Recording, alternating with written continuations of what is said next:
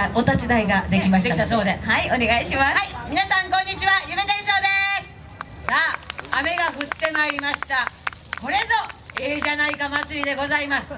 雨に負けないのがええじゃないかでございますんで。え皆さんの方はね本当にあのお尻とかお足元に気をつけて、えー、楽しくご覧になっていただきたいと思います。えー、本日夢天賞ですね6人の可愛い子供たちも一緒にやってきています、えー、このねゴムの上がさあ踊りにどんな作用を及ぼすか。その辺も楽しみにご覧になっていただきたいと思います。それでは夢天賞です。よろしくお願い